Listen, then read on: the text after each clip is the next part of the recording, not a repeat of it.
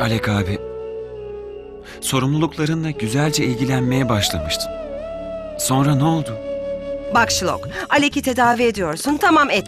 Ama sana zarar vermesine izin verme sakın, tamam mı? Bugün ne resmi yapacaksın Ali? Bugün canım resim yapmak istemiyor. Seni kaybettim. Tamamen kaybettim. Hayır Satna. Umudunu sakın kaybetme. Şu an Alek'in en çok sana ihtiyacı var. Karanlıktaki tek ışık sensin. Deli Divane yeni bölümüyle pazar günü Kanal 7'de. Bedai, bedai.